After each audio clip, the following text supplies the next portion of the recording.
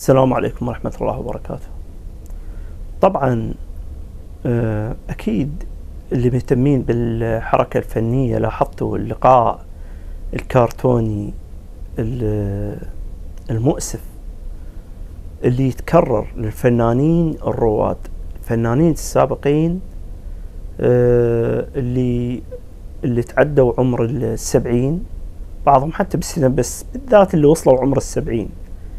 بصراحة يعني هذا الأعمار ونتيجة الشخصية العراقية اللي مرت حروب وشغلات.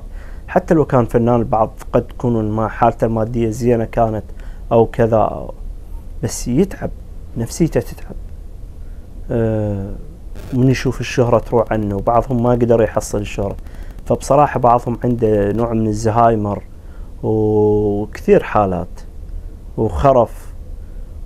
لكن ذولا يا أما يكون عايشين مستقلين يعني ما عايشين مع أهلهم يعني أبناء وكذا يا أما إنه يعني هي العائلة يعني أو الأسرة البعيدة ما مهتمه بيهم ولا يعني ممكن إنه تطلب من جهات معينة عدم استضافتهم بالقنوات.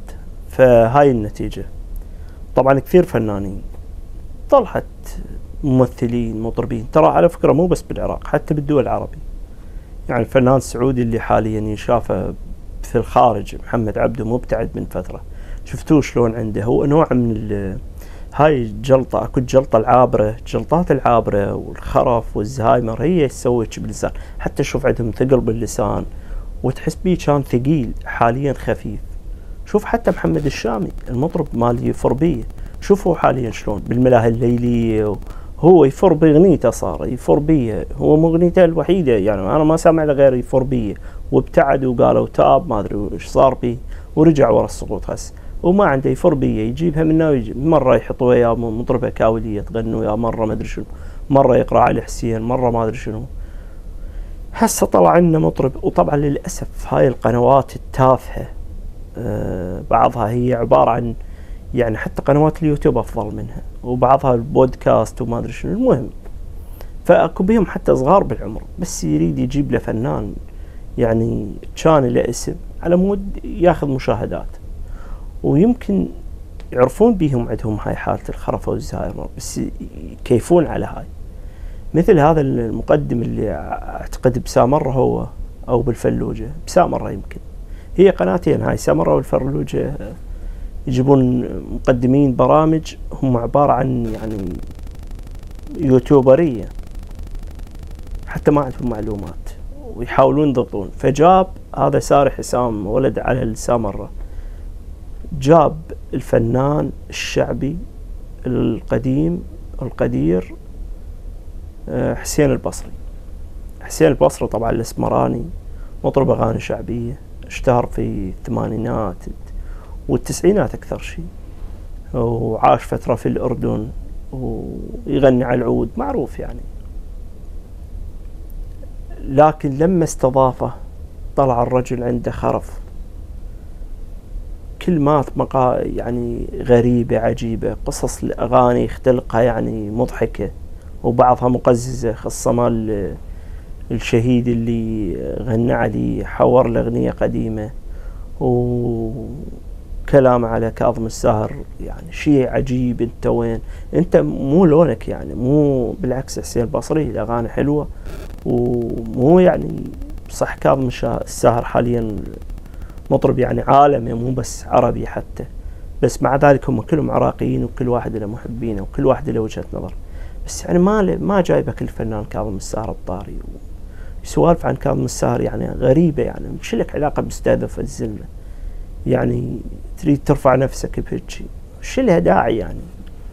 فهواية شغلات غلط. وهو مو لونه على فكرة. يعني محمود أنور ممكن مهند محسن دولة ممكن يعني يجيبون كاظم حسين نعمة بس حسين بصري مو لونه يعني رجال فنه شعبي. مثل صباح الخياط وكذا. شوف هسه صباح الخياط مو يعني مقارنة بس ولا شيء.